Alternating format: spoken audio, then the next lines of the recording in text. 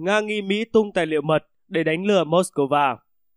Thứ trưởng Ngoại giao Nga Ryakov cho rằng vụ dò dỉ tài liệu mật có thể là động thái có chủ đích của Mỹ nhằm đánh lừa Nga. Thật thú vị khi xem những tài liệu này, chúng có thể là tài liệu thật, nhưng cũng có thể là văn bản giả hoặc là vụ dò dỉ có chủ đích. Thứ trưởng Ngoại giao Nga Sergei Ryakov hôm nay cho hay, đề cập đến việc Mỹ bị dò dỉ loạt tài liệu mật và tuyệt mật những ngày gần đây. Vì Mỹ là một bên trong cuộc xung đột ở Ukraine và về cơ bản đang tiến hành chiến tranh lại chống lại chúng tôi. Có thể những mánh khóe như vậy đang được sử dụng để họ đánh lừa đối thủ của họ, tức nước Nga.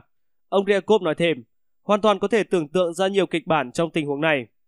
Chiến tranh line là thuật ngữ dùng để chỉ loại hình chiến tranh kết hợp nhiều phương thức, từ chính trị, quân sự cho tới tấn công mạng.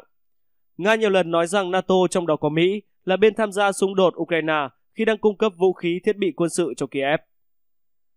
Truyền thông Mỹ tuần trước đưa tin hàng loạt tài liệu tình báo, trong đó có những văn bản đóng dấu tuyệt mật, đã xuất hiện trên mạng xã hội Twitter, Telegram và nhiều trang web suốt vài tháng qua. Thông tin dò dỉ nêu bật những lo ngại của Mỹ về khả năng Ukraine tiếp tục phòng thủ trước các cuộc tấn công của Nga.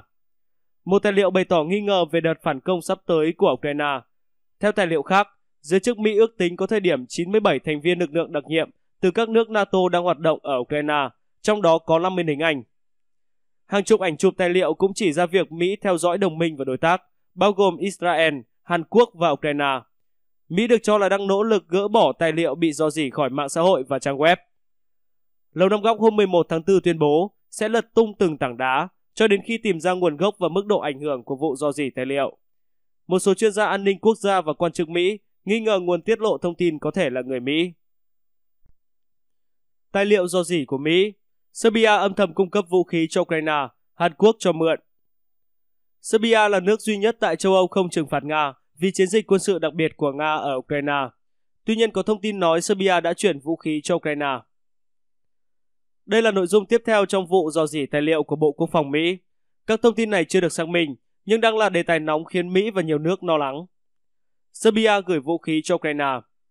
Trong phần nội dung do Reuters tiếp cận và công bố hôm 12 tháng 4, Lầu Năm Góc được cho đã có một bản tóm tắt phản ứng của các chính phủ châu Âu đối với nhu cầu quân sự của Ukraine. Tài liệu này có tựa đề châu Âu, phản ứng trước cuộc xung đột Nga-Ukraine đang diễn ra. Đánh giá phản ứng và lập trường của 38 chính phủ châu Âu đối với yêu cầu viện trợ vũ khí của Ukraine. Dữ liệu cho thấy Serbia từ chối cung cấp huấn luyện cho quân đội Ukraine. Tuy nhiên, nước này cam kết gửi vũ khí tấn công hoặc đã gửi vũ khí tấn công cho Ukraine. Thông tin cũng nói Serbia có ý chí chính trị và năng lực quân sự để cung cấp vũ khí cho Ukraine trong tương lai. Tới nay cả văn phòng Tổng thống Serbia Alexander Vucic và Đại sứ quán Ukraine đều chưa có phản hồi về thông tin trên. Bộ Quốc phòng Mỹ cũng chưa phản hồi về Serbia, trong khi trước đó cũng từ chối bình luận về bất kỳ tài liệu do gì nào. Chính phủ của ông Vucic tuyên bố trung lập về cuộc chiến Ukraine. Đây cũng là quốc gia duy nhất ở châu Âu không trừng phạt Nga. Janusz Bugarski, chuyên gia về Đông Âu tại Trung tâm Nghiên cứu Chính sách Đối ngoại Mỹ James Thao nhận định, nếu tài liệu này là chính xác, nó cho thấy phản ứng hai mặt của ông Vucic với Nga, hoặc ông ấy đang chịu áp lực lớn từ Washington trong việc cung cấp vũ khí cho Ukraine. Hàn Quốc cho Mỹ mượn đạn dược, từ chối cung cấp trực tiếp vũ khí cho Ukraine. Việc chấp nhận gửi vũ khí sát thương cho Ukraine trong cuộc xung đột với Nga là vấn đề nhạy cảm với nhiều nước. Loạt tài liệu do gì chưa được xác minh này chứa những thông tin phản ánh câu chuyện phức tạp phía sau vấn đề trên. Hôm 12 tháng 4, trên các nguồn tin chính phủ nói Hàn Quốc đã quyết định cho Mỹ mượn 500.000 vòng đạn pháo 155mm. Số đạn dược này được hiểu nhằm giúp Washington linh hoạt hơn trong việc cung cấp cho Ukraine.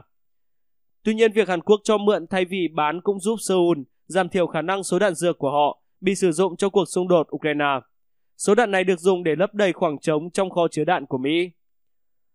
Tờ báo Hàn Quốc nói năm ngoái Mỹ đã mua 100.000 vòng đạn, nhưng tới tháng 2 năm nay muốn mua tiếp số lượng tương tự. Chính phủ Hàn Quốc đã tìm phương án khác để cung cấp món này. Chúng tôi quyết định tăng đáng kể số lượng đạn pháo nhưng sử dụng phương pháp thuê mượn, sau khi tìm ra cách đáp ứng yêu cầu của đồng minh thân cận này thật thiện chí, mà đồng thời vẫn tuân thủ nguyên tắc của chính phủ về việc không cung cấp vũ khí sát thương cho Ukraine. Hôm 12 tháng 4, Ngoại trưởng Hàn Quốc Park Jin cho biết, ông không thể xác minh thông tin của bài báo trên. Tuy nhiên, ông Park nhấn mạnh lập trường của chính phủ Hàn Quốc về không cung cấp vũ khí sát thương cho Ukraine vẫn không hề thay đổi.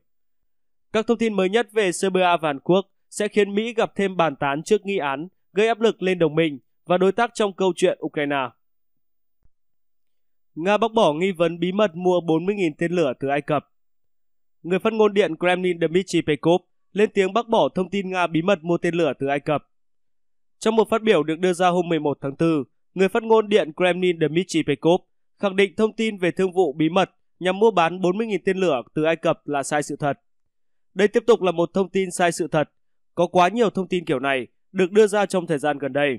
Hãy cảnh giác với những thông tin như vậy, ông Peskov nhấn mạnh.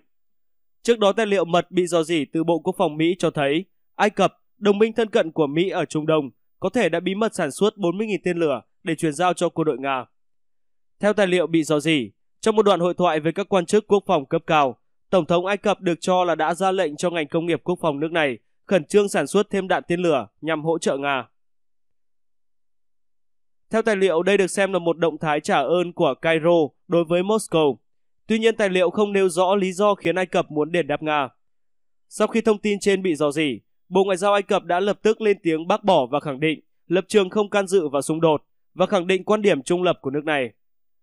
Trong tuần qua, hơn 100 tài liệu tuyệt mật của Bộ Quốc phòng Mỹ đã bị dò dỉ, gây nên một vụ việc chấn động giới chức quốc phòng và tình báo của nước này. Những tài liệu trên đã tiết lộ nhiều hoạt động cũng như hợp tác quân sự bí mật của quân đội Mỹ cùng các nước đồng minh. Đặc biệt nhiều chi tiết quan trọng liên quan đến hoạt động của NATO tại Ukraine cũng nằm trong những tài liệu bị dò dỉ. Phản ứng trước vụ lộ tài liệu mật trên, Bộ trưởng Quốc phòng Mỹ Lloyd Austin tuyên bố cơ quan này sẽ làm mọi thứ có thể để truy tìm nguyên nhân cũng như hạn chế những tác động mà vụ việc này gây ra. Chúng tôi sẽ tiếp tục điều tra và lật mọi tảng đá cho đến khi tìm ra nguồn gốc và mức độ của vụ dò dỉ này. Ông Austin phát biểu trong cuộc họp báo tại Bộ Ngoại giao. Bộ Quốc phòng Mỹ cũng cáo buộc nhiều tài liệu bị lộ đã trải qua quá trình chỉnh sửa trước khi được công bố rộng rãi. Tuy nhiên, Lầu Năm Góc hiện chưa đưa ra bằng chứng cho cáo buộc này. Chiến sự Ukraine Tài liệu mật bị dò dỉ cho thấy thái độ bi quan của Mỹ. Mỹ lo Nga chiếm ưu thế trên không.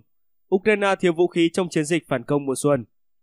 Các tài liệu tuyệt mật bị dò dỉ của Lầu Năm Góc được đăng lên mạng xã hội, đưa ra quan điểm bi quan của Mỹ về tình trạng chiến sự ở Ukraine. Nêu bật những điểm yếu trong hệ thống phòng không và vũ khí của Ukraine, đồng thời dự đoán thế bế tắc trong nhiều tháng tới. Các tài liệu xuất hiện từ tháng 2 và tháng 3 nêu chi tiết tình trạng thiếu hụt quân sự của Ukraine khi Kiev chuẩn bị cho một cuộc phản công mùa xuân chống lại Nga.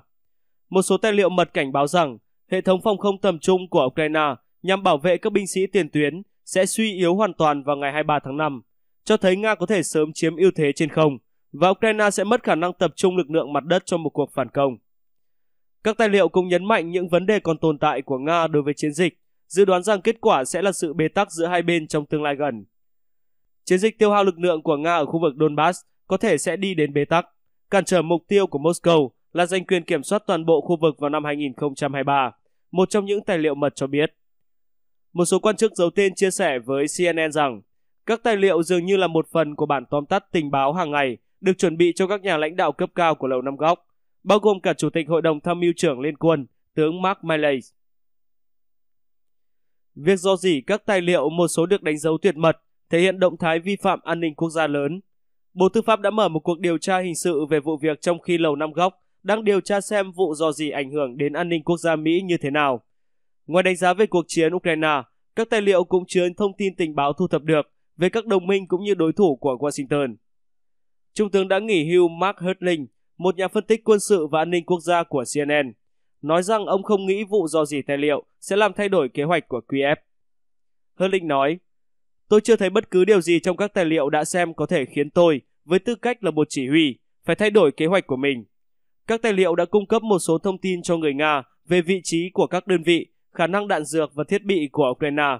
Nhưng dù sao thì tôi dám nói rằng người Nga đã biết tất cả những điều đó rồi.